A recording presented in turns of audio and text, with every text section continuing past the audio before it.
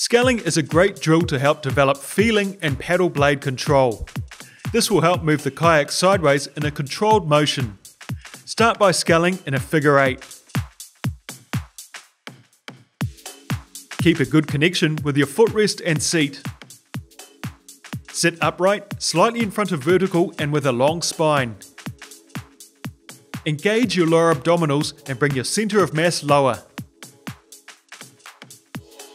Keep your movements slow, controlled, and purposeful. Move your paddle in a figure eight.